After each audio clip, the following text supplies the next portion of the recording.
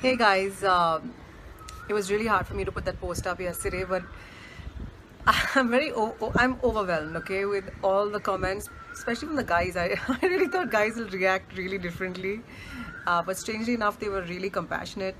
With women, I expect them to be compassionate because you know it's always a struggle. Like, weight's a big struggle, and the reason I spoke about is because a lot, a lot of people thought I must have left town after getting married or did I move abroad or something. And the truth is that it just made me realize I was hiding right here. I mean, in this house, I was hiding because I was so damn scared all the time of just how much weight I'd put on.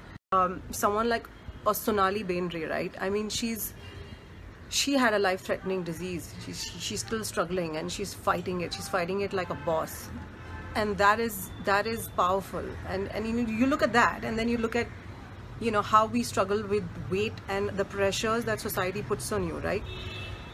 And i'm just like my god what the hell am i doing? Like and that's why the second time round with the second pregnancy yeah i mean last one i, I did put on a lot of weight. I i don't know why. Maybe it's because I starved myself to look a certain way most of my career and I just lost my head you know I guess when I got pregnant you know, I guess when I got pregnant the first time, I had a lot of hormones, a lot of issues.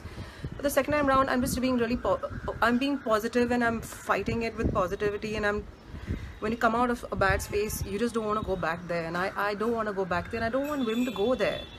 And all of us do. I mean, I've hid from cameras, like, don't take my photograph. You know, like, I don't look a certain way. Hey, you know what? I didn't.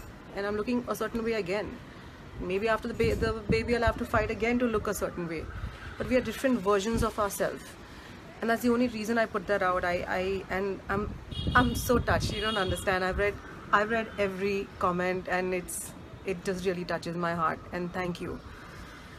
Thank you from the bottom of my heart for being so supportive. More than you I think I needed it